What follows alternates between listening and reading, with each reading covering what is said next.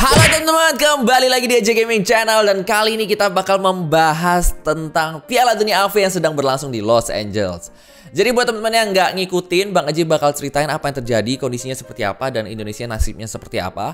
Selain itu juga, um, buat teman-teman yang nggak tahu, sekarang sudah mendapatkan empat partisipan yang bakal berlaga di semifinal.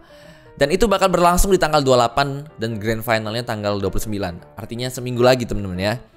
Jadi buat teman-teman yang nggak tahu, uh, Bang Eji bakal ceritain ya siapa aja timnya dan ceritain gimana ini bisa terjadi. Gila ini bisa terjadi gimana gitu. Dan selain itu juga kita bakal ngebandingin dengan apa yang terjadi di AWC Bootcamp di Thailand. Jadi kita bandingin apakah yang di Piala Dunia asli AOV itu hasilnya bakal sama dengan uh, di Gladi Resiknya yang di Thailand. Gila. Kalau sama kan berarti kayak di Javu gitu kayak kita kayak reka ulang gitu kan. Oke. Jadi di sini uh, Bang Eji bakal jelasin dari awal. Jadi tim yang bakal yang sudah mengikuti Piala Dunia AFC itu ada 12. Ya, dibagi menjadi tiga tier istilahnya. Tier 1, 2 dan 3. Tier 1 itu didapat dari peringkat 1 sampai 4. Tier 2 didapat dari peringkat uh, eh, 5 sampai 8. Tier 3 didapat dari peringkat 10 sampai eh 10. 9 sampai 12 ya. Tadi ya ya benar. 9 sampai 12. Jadi totalnya ada 12 tim. Jadi pembagian grupnya itu tier 1, tier 2, tier 3. Tier 1, tier 2, tier 3 gitu ya. Jadi adil buat yang tier 1. Jadi tier 1 capek-capek ranking tinggi ya lawannya yang lebih gampang gitu istilahnya ya. Kemudian didapat jadinya seperti ini ya. Grup A itu isinya ada Thailand, North America dan Singapura. Dulu itu Filipina. Berubah jadi Singapura kayaknya masalah visa juga deh. Gue kagak tahu. Intinya timnya berubah. Gitu ya. Grup B itu ada Taiwan, Vietnam dan Indonesia. Grup C itu ada Korea, Taiwan Wildcard dan Eropa. Grup D itu ada China, Thailand Wildcard dan South America. Oke, udah ya teman-teman ya. Nah, di sini bakal bakal aja ceritain dulu di grup A ini. Jadi di grup A ini Thailand itu menang 4 match ya, menang lawan North America dan menang lawan Singapura. Menang lawan Singapurnya 2-1. Jadi Singapura dapat satu poin pada akhirnya. Sedangkan North America menang lawan Singapura 2-0. Artinya Singapura cuma dapat satu poin kemenangan, 4 kekalahan. Yang maju ke babak berikutnya adalah Thailand dan North America. Oke? Sama dengan berikutnya ya. Di grup B yang juara satu adalah Taiwan. Oke, Bang aja ceritain dulu Indonesia kenapa bisa kalah. Indonesia kalah lawan Vietnam dua kali, itu di comeback dua kali. Sebenarnya itu adalah momentum di mana Indonesia bisa mendapatkan apa ya poin gitu loh ya minimal satu poin gitu loh sayang banget Indonesia nggak dapat poin di sana Indonesia kalah 2-0 itu berarti ya kalau Taiwan kalah 1-2 atau 2-0 dari Vietnam kita bakal diuntungin sebenarnya ya. Kenapa? Karena kalau kita menang lawan Taiwan, kita udah pasti ke babak berikutnya. Ngerti nggak maksudnya? Mungkin ada beberapa yang nggak ngerti ya. Oke, gini ceritanya. Vietnam lawan Indonesia, Vietnam dapat 2-0, dapat 2 poin ya. Misalnya kalau Taiwan kalah lawan Vietnam 2-0, berarti Taiwan 0 poin, Indonesia juga 0 poin. Jadi ketika Indonesia lawan Taiwan menang 2-1 pun, Indonesia maju ke babak berikutnya. Oke? Bisa ngebayangin ya. Misalnya kalau Taiwan menang lawan Vietnam seperti yang terjadi, Taiwan itu menang lawan Vietnam 2-1. Artinya Taiwan udah punya 2 poin, Vietnam udah punya 3 poin. Jadi Indonesia udah gak mungkin kejar Vietnam, cuman bisa ngejar Taiwan. Mau gak mau, Indonesia harus menang 2-0. Sedangkan di babak pertama itu Indonesia udah kalah 1-0. Jadi match keduanya udah gak ada artinya. Walaupun Indonesia menang 2-1, Taiwan tetap maju ke babak berikutnya. Artinya Taiwan cuma butuh satu poin ketika melawan Indonesia.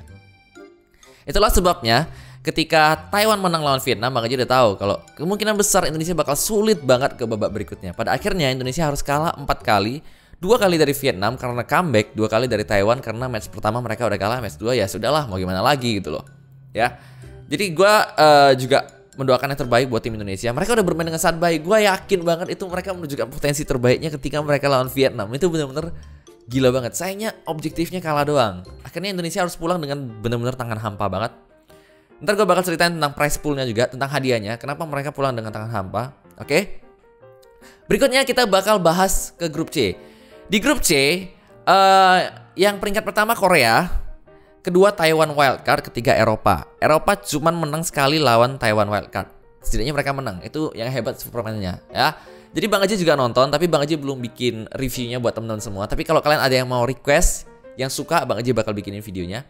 Sedangkan di grup D, teman-teman, yang peringkat pertama adalah China, kedua Thailand wildcard dan ketiga South America. Gitu teman-teman, ya. Jadi didapatlah total 8 tim. Thailand, North America, Taiwan, Vietnam, Korea, Chinese Taipei, China. Wah, susah gue ngomong gitu kalian lupa semua ya. Nah, Intinya hasilnya jadi seperti ini teman-teman. Kalian lihat ya. Jadi ada 8 tim yang masuk. Taiwan bakal melawan Thailand melawan Taiwan wildcard, China melawan Vietnam, Korea lawan North America, Chinese Taipei lawan Taiwan. Jadi yang di atas ini adalah peringkat satu di grupnya masing-masing. Sedangkan yang di bawahnya itu adalah peringkat dua di grupnya masing-masing. Dan secara mengejutkan ya, semua yang di peringkat satu itu menang. Menang gampang semua masalahnya. Thailand menang 3-0 lawan Chinese Taipei wildcard. China menang lawan Vietnam 3-1 ini memang baru selesai. Korea lawan North America menang 3-0. Taiwan lawan Thailand wildcard menang 3-0, teman-teman.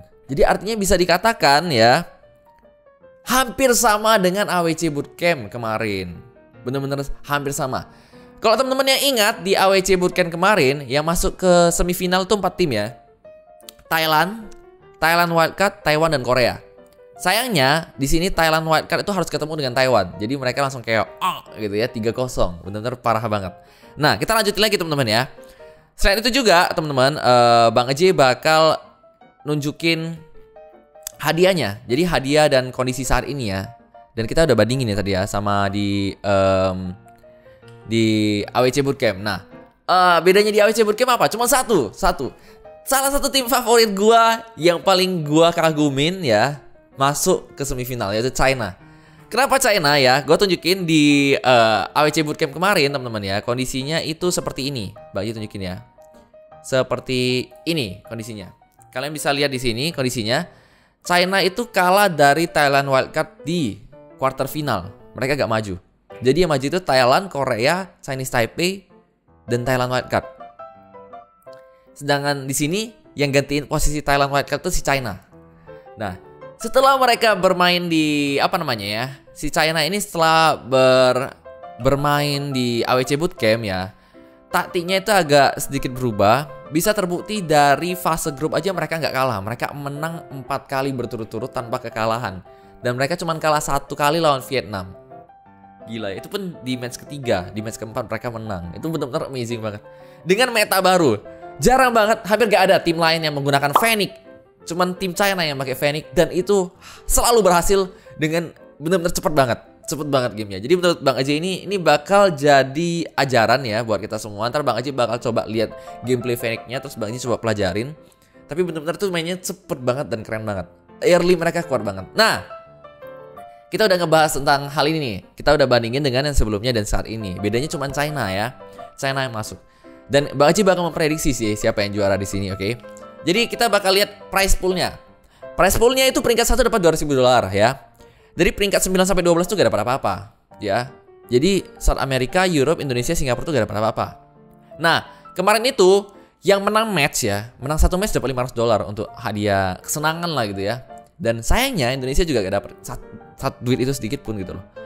Jadi benar-benar pulang dengan tangan hampa. Dan uh, ini ada beberapa uh, nominasinya. Bang Aji dulu juga udah pernah nunjukin ya, Most Tenacious Team uh, yang paling gigih gitu ya. Most Creative Team, Most Creative Team feeling Bang Aji yang bakal menang yang pakai Omega kemarin sih. Si Vietnam bakal menang sih. Yang jadi uh, matchnya itu match Vietnam melawan uh, Taiwan. AWC overall MVP ini pasti dari pemenang. Most kill, second most kill, third most kill, assist dan terus ada dealt most damage, took most damage dan player who created a successful strategy with a less popular hero. Ah, bisa jadi ini juga yang menang Vietnam karena dapat dari match kemarin. Bisa jadi Vietnam dapat dua itu. Yang ada omeganya yang Bang Eji post videonya yang kalian belum nonton silahkan nonton. Itu dia ya. Nah, buat teman-teman yang mau nonton nanti uh, semifinal ya, Bang Eji tunjukin dulu ya. Semifinal itu kan ini nih. Semifinal tuh nanti Thailand lawan China ya. Korea lawan Taiwan, ya. Korea lawan Taiwan terulang kembali. Apakah Taiwan bakal menang 3-0? Feeling Bang aja nanti Thailand bakal menang, teman-teman ya. Thailand bakal menang lawan China. China bakal turun ke lower bracket ya di bawah ini. Kemudian Korea bakal ketemu Taiwan, Taiwan menang, Korea turun turun ke lower bracket ya. Nanti Korea bakal ketemu sama China. Feeling Bang aja ya, kemungkinan China bakal menang tipis. Kemudian di final itu China bakal ketemu dengan Thailand atau Korea sih. Jadi ini bakal seru banget. Bang Aji yakin seru banget ya. Jadi ntar kita bakal saksikan deh. Bang Aji bakal coba nge-review match yang berlangsung mulai dari semifinal. Nah, Tapi ini nanti Bang Aji coba ngeliat-liat lagi match yang sedang berlangsung saat ini. Misalnya kalau ada match yang bener-bener menarik banget, Bang Aji bakal coba nge-review dan tunjukin ke teman-teman semua gimana gameplaynya. Nah, jadi buat teman-teman yang kecewa dengan permainan Indonesia, menurut Bang Aji sih jangan kecewa. Kenapa? Karena ini masih tahun pertama ya, menurut Bang Aji. Uh, Piala Dunia juga baru berlangsung pertama kali ini. Dan Indonesia juga gak beruntung karena nggak semua pemain full timnya bisa ke sana. Sama halnya dengan Singapura. Awalnya itu tim Thailand ya, satu tim itu mau ke sana, yang di AWC Bootcamp itu tim Thailand, tapi yang ke ke AWC-nya ke Piala Dunia itu tim Singapura, kayaknya itu peringkat duanya kali ya. Hasil mereka kurang persiapan dan benar-benar dibantai habis-habisan kan, walaupun mereka bisa dapat menang satu match, ya. Dan klasemennya juga sama kayak dulu ya. Uh, Europe, South America, Indonesia, Singapura itu di paling bawah. Jadi secara nggak langsung AWC Bootcamp itu udah menunjukkan reka apa ya gambaran buat kita semua ya siapalah yang bakal menang gitu ya siapa yang bakal apa. Jadi menurut bang Aji sih memang kita kurang persiapan dan ke depannya mungkin patchnya bakal disamain dan di saat itulah kita udah bisa mulai bersaing lagi sama mereka ya. Bener-bener deh bang Aji yakin dan uh, cuman beberapa tim yang bernasib sama seperti Indonesia ya. Kalau nggak salah dari Europe juga ada satu atau dua pemainnya berubah. Singapura juga semua pemainnya berubah. Indonesia juga dua uh, dua pemain berubah. Sisanya yang dari atas semua sama ya. Uh, ada beberapa yang beda. Jadi kita bakal saksikan tanggal 28 nanti siapa yang bakal menang menurut kalian. Kalau menurut Bang Aji yang bakal juara dunia kayaknya tetap Thailand ya. Thailand terlalu kuat bu Thailand tuh belum pernah kalah bu jadi Sekian aja video ini, semoga kalian terhibur dan semoga bermanfaat buat teman-teman yang nggak ikutin Piala Dunia AV. Bang Aji bakal review beberapa match, Bang Aji bakal cari dulu match yang seru itu seperti apa, yang bagus. Kemudian Bang Aji bakal tunjukin ke teman-teman semua, kita bakal coba pelajarin dan kita coba uh, diskusiin gitu ya. Jadi thank you banget teman-teman udah mampir dan Bang Aji mau pamit pamit undur diri gila keren bahasanya. And see you again in the next video. Bye bye.